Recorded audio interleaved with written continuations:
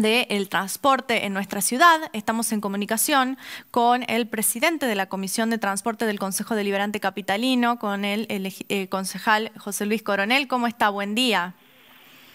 Hola, ¿qué tal? Buenos Hola, días. ¿Cómo está? Eh, estuvo reunido durante esta semana con eh, grupos de taxistas que han tenido distintos pedidos, ¿no? Y protestas. Sí, sí. En realidad, desde la semana anterior ya venimos trabajando con los, taxistas, porque como ustedes saben, ellos están divididos en, varios, en varios grupos, ¿no? En, varios sectores. Bueno, nuestra obligación obviamente es recibirlos a todos y escuchar cada uno de sus pedidos, de su propuesta. Eh, hay temas que son muy relevantes, por ejemplo, el aumento de tarifa que ellos están solicitando desde el año pasado. Eh, y el otro tema también que hoy está en boca de todo en la calle, el, el posible desembarco de la empresa o de la multinacional esta Uber, sí. que desembarcaría como servicio de paquetería, primeramente acá en la provincia, ¿no? Porque en, Tucumán. Obviamente los señores eh, tacheros, los trabajadores se oponen a esa medida o a, e, o a esa aplicación que para para tomar un, auto, un remis, para hacer viajes.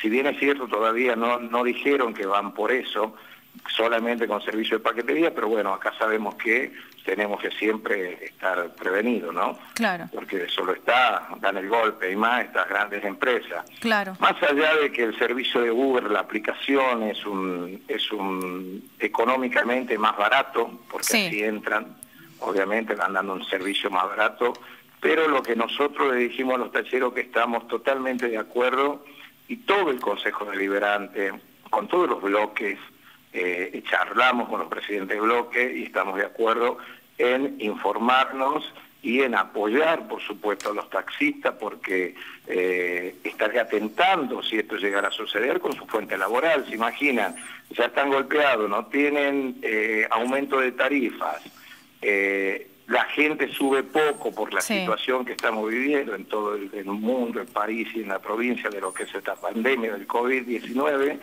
eh, que venga un servicio que prácticamente eh, cobra mucho más barato, o sea, eh, ya sería mucho, ¿no? Porque estos muchachos se sacrifican demasiado, horas de más, ahora en los autos para poder llevar el sustento a su casa, pero bueno, con esto yo creo que lo estaríamos condenando.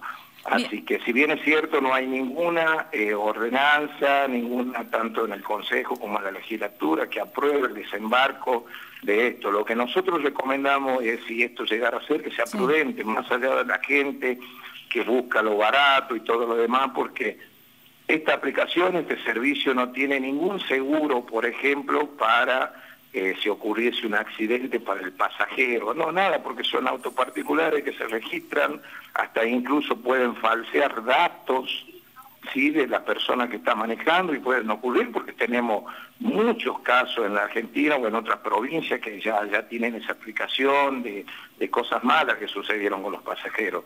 Así que bueno, por el momento el Consejo Deliberante, la Comisión de Transporte de la cual soy presidente, está averiguando, está indagando, solamente son dichos, pero bueno, hay que estar preparado para ver cómo podemos frenar esto o cómo poder hacer eh, de que esto sea lo mejor si llegase a suceder. Ojalá que no, vuelvo a decirle, porque apoyamos totalmente la fuente laboral de los compañeros, de la gente que trabaja en los taxis. Y se planteó también un aumento de las tarifas, ¿no? De la bajada de bandera. ¿Cómo, bueno, qué hablaron? ¿Qué posibilidades hay de eso? Ellos, eh, la verdad que hay que destacar eh, que los muchachos, todas las partes que representan los señores peones de taxis, este, están muy bien, hablaron muy bien, trajeron propuestas, escucharon nuestras, nuestras razones también, nosotros les explicamos que es justo, por supuesto, el aumento, pero hay en la actualidad un decreto de necesidad y urgencia a nivel nacional, un decreto presidencial que prohíbe los aumentos de tarifas para los usuarios. Entonces lo entendieron perfectamente, entendieron perfectamente la situación que está atravesando el país, la provincia, en la materia de salud y económica, y aceptaron que al finalizar el decreto de necesidad y urgencia nos volvamos a juntar para hablar precisamente de este tema, que ellos quieren llevar una tarifa de 30 pesos, la bajada de bandera 60. y la ficha por cuadra o por cada 100 metros sería de 3 pesos a 6 pesos. Entonces... O sea, sería duplicar, la, el duplicar la tarifa, básicamente, ¿no? De acuerdo con esos números. ¿Cómo, Que ellos piden que se duplique la tarifa, tanto en la bajada de bandera como en la ficha que cae cada 100 metros. Claro, que se duplique, que se duplique, que se duplique. Ellos están pidiendo eso. Por supuesto, todo, todo tiene una conversación. Claro. Todo tiene un, digamos, hay que, hay que ver que es lo mejor, no decimos que no es justo, no decimos que no les corresponde, tampoco decimos que ahora están bien, que les calza, porque no es verdad. Claro. Pero también nosotros tenemos que pensar en el usuario, qué es lo que puede pagar el usuario, eh, cómo está posesionado el usuario económicamente hoy, porque si hoy con el precio que tienen no le suben demasiados pasajeros, imagínalo, llegan a llevar el doble, claro. digamos, no le sube nadie. Pero bueno, estamos tratando, vuelvo a decirle, eh, la Comisión de Transporte lo va a charlar porque lo que le corresponde a la Comisión de Transporte, más allá de tomar una decisión en un proyecto de ordenanza, es escuchar las partes, ¿sí? porque ellos son en realidad los que conocen